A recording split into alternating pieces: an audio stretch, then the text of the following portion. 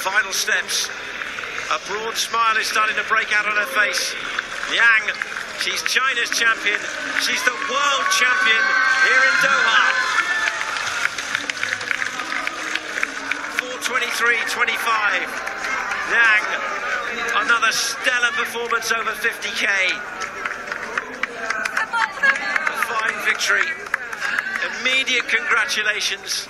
Raw emotion at the finish line. There is the winner and the new IAAF world champion in the women's 50 kilometre race walk.